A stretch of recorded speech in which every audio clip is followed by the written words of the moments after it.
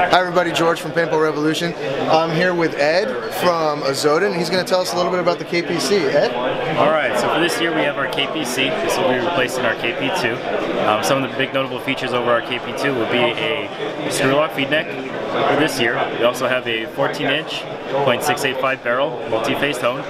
We've also changed all the guide rods to stainless steel. We also have a thicker stainless steel uh, pump rod at the very top. We also have two O-rings on the bolt, just like our KP3. Should help with air efficiency. We also have a preset feather regulators set to 250 psi.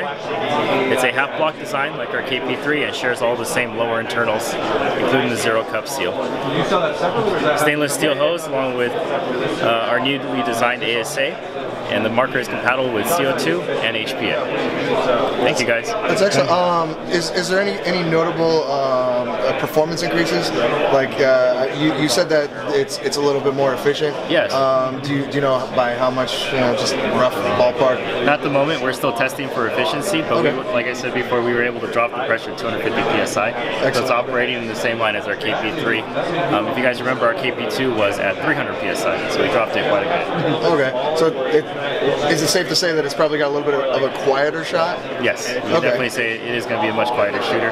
And we also, instead of going for the the triad system that we have, we, you know, we have a real barrel on here, .685. Excellent. Um, so changing the changing the barrel sizes is that uh, this one is actually a single piece 14 inch. Okay. Um, but it is compatible with our uh, two piece 14 inch that comes in a .68 excellent. Um, in terms of tech is if, if somebody's already familiar with the with the K, uh, KP3, mm-hmm. teching the KPC should be the same thing. Exactly the same. Same O-rings. Yep, same, same O-rings, um, same valve, same striker, along with the springs in the back.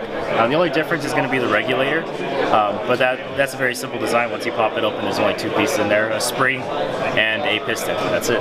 Excellent, man. Oh yeah. All right, excellent. So um, it definitely feels good. Um, yeah. So there you go. There you go, guys. Uh, basically, if you're already shooting the the KP the KP3, the KPC should just be a, a nice little upgrade for you. Uh, as Ed said, it's going to be more air efficient, smoother shot, a little bit quieter, and it's basically everything you already know about the KP3. Just feels it feels a little bit lighter. Did you guys take some weight out of it? Uh, we didn't take uh, no, we didn't take any weight okay. out of it. It just I got like stronger this morning then. Yeah, there right. you go. the other marker we have this year is going to be our KAOS 2.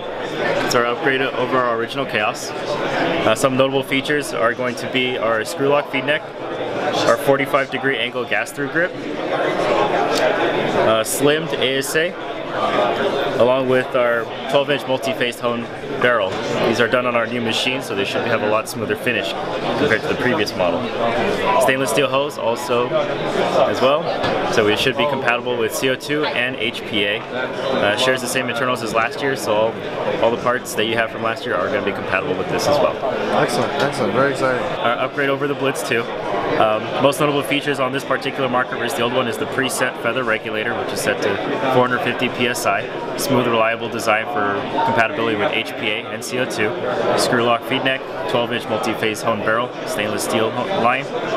Um, shares the same electronics as the Blitz 2, the four firing modes. We also went to a composite trigger frame which has allowed us to shave off about 15% of the weight off the Blitz 2. So it's an extremely light gun, very fast, easy to maneuver. so uh, thank you very much, Ed. We appreciate your time. No problem. So uh, take, take a look at our channel, guys, paintballrevolution.com, as well as our social media. Uh, we're going to be posting a lot more all day. Uh, stay tuned. Thank you very much. Thank you, Ed. Thank you, guys.